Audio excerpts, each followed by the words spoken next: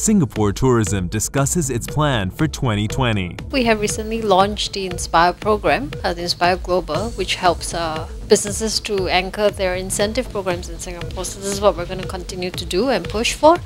Uh, for the leisure part, we are continuing to look at the family segment as well as uh, female travelers.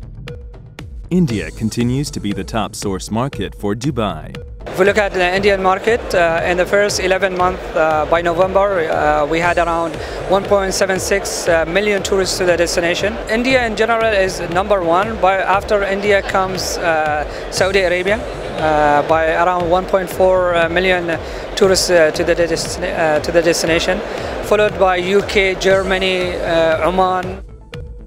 Etihad Airways partners with UK's EasyJet, connecting the two airlines network.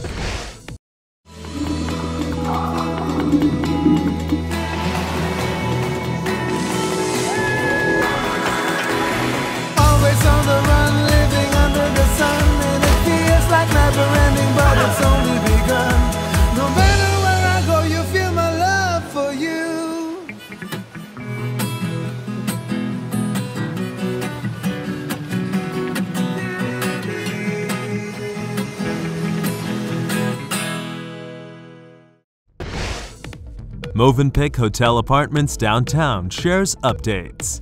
GCC has been one of our top market and we continue to drive that. However, we don't want to limit us limit ourselves to that. Um, uh, we are going, our plans are going to be expanding all our markets between Europe and America uh, and Africa as well.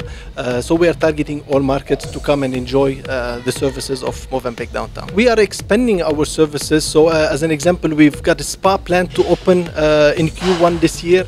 Uh, so this is an exciting project that we have uh, as well. We've got a supermarket that also our guests can can go and enjoy um, uh, and buy stuff for for their families, um, and also a new restaurant coming on the fourth floor, an Italian cuisine restaurant that we are planning to open. Seventh edition of Dubai Food Festival to kick off on 26 February 2020.